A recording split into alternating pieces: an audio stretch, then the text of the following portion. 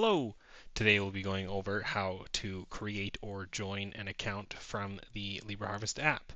To begin, I have a newly installed Libra Harvest app here. You can find that on the Google Play Store or the Apple App Store.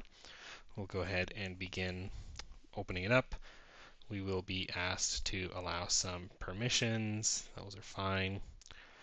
We have a user agreement here. Please read through it and understand it at your leisure, and then we'll be brought to this screen here.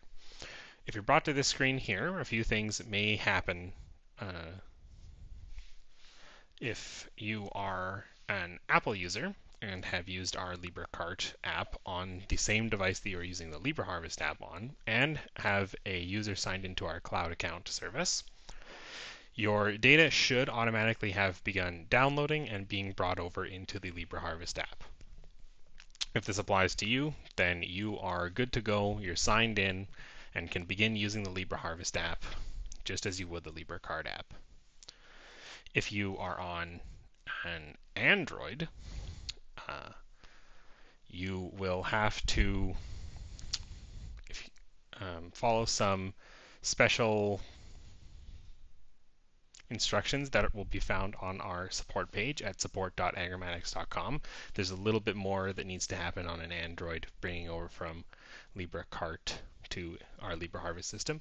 If you follow those guides there, they'll bring you through it.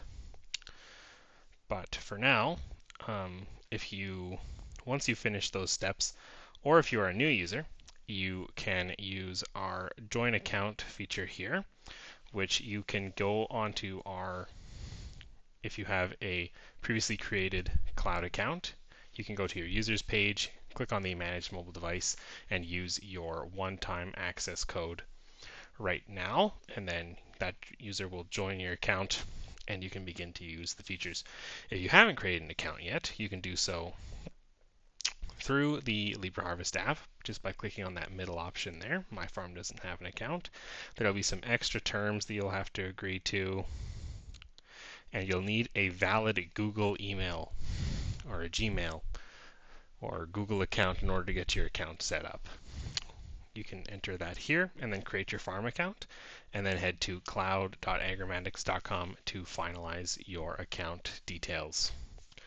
If you're just looking to um, kind of fool around and check out the remote the app and its features or if you are just wanting to use it as a remote device you can tap remote mode only and fiddle around within the app.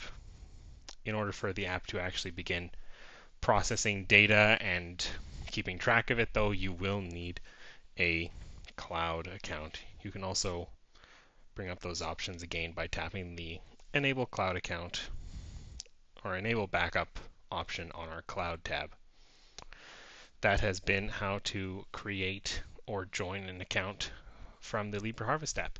For more instructional videos, app help, how-to guides, and troubleshooting tips, please visit our support page at support.agrimatics.com.